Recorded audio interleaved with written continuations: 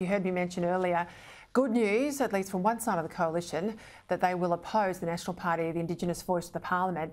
Uh, the speech from Jacinta Price today, a brilliant evisceration of the whole Indigenous voice push. Uh, joining me now, one of her colleagues, Federal MP for Hinkler, Keith Pitt, and Sky News host, Gary Hardgrave. Keith, clearly you took a decision in the party room today. No one really saw that coming. Um, you're showing the Liberals the way, I suspect, on this matter. I hope they uh, muscle up and end up where you are sooner rather than later.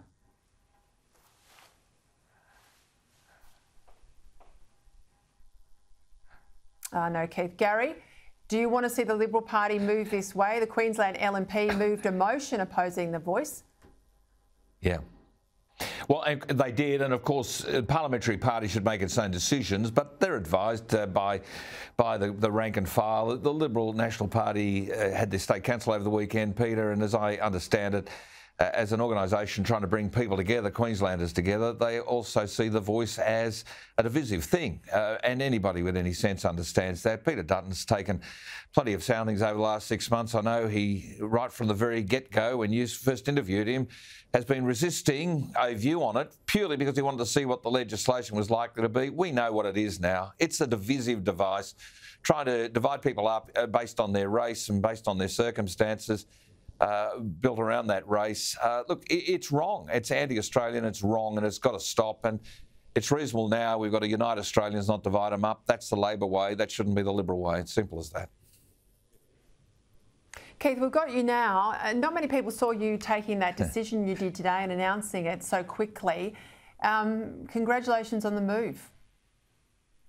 Oh, Peta, if I had my way, we would have done it weeks ago. but, you know, uh, we've come to a decision in the Nationals party room. Uh, and how good is Jacinta Price? But it, it's really, it's this easy. We, we are one people. We are one country under one flag. We are all equal. It doesn't matter whether you have a cultural connection, whether you can go back to the first fleet, whether you're born down the road, whether you, you know, took the oath last week. Uh, all Australians are equal, and that should be always the position that we fight for as Liberals and Nationals. Yeah, we are yeah. the parties of freedom and liberty. Yeah. You're a long-term Lib. Gary, give me your take on what happened uh, Saturday night in Victoria.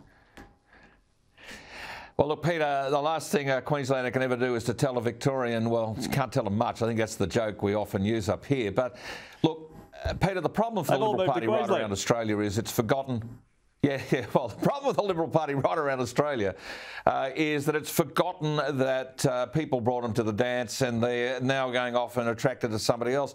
You know, trying to attract votes, Peta, from people that are never going to vote for you is just not going to work.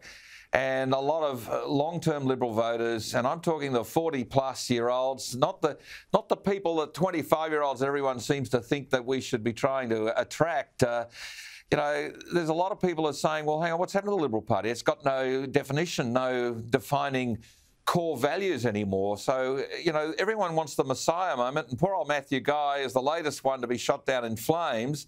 But Messiahs are not going to deliver this. It's simply going to be returning to what got the party where it was, dealing with the forgotten people, standing up for individual freedom, standing up for reward for effort.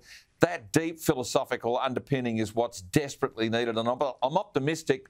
My long term friend Peter Dutton has the capacity to do it. It just makes sure everybody in his party room gets behind him and not to stab him in the back. So we just need to get a return to the traditional values that Menzies and others espoused. They are as real today, in fact, frankly, more attractive than they've ever been, given this collective socialist rubbish that we're hearing from the other side. Well, Keith, your tribe down here got six seats, retained six, picked up another three, best result since 1943, and you are teeming with women, and there's not a quota in sight. Maybe you guys should run a masterclass yeah. down here on what to do right and what to do wrong and what not to do. oh, well, well congratulations to Peter Walsh and the Victorian Nats.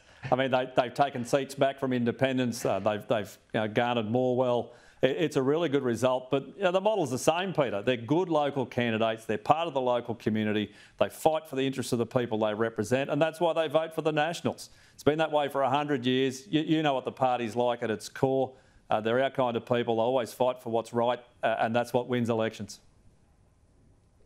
Yep. Gary, take us to the break. This land court decision in Queensland that's putting climate change on the table as a deciding factor on whether or not a coal mine goes ahead.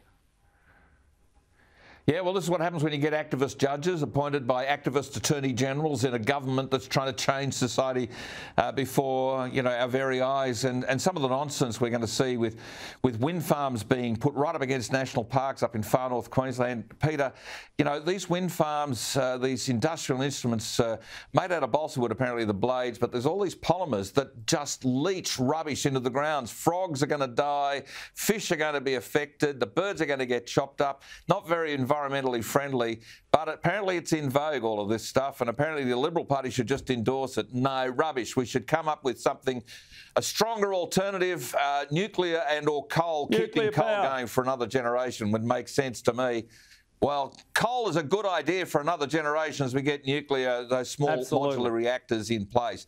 Not hard to work out in my mind. Good luck, gentlemen. See you next week. Gary Hardgrave, Keith Pitt there.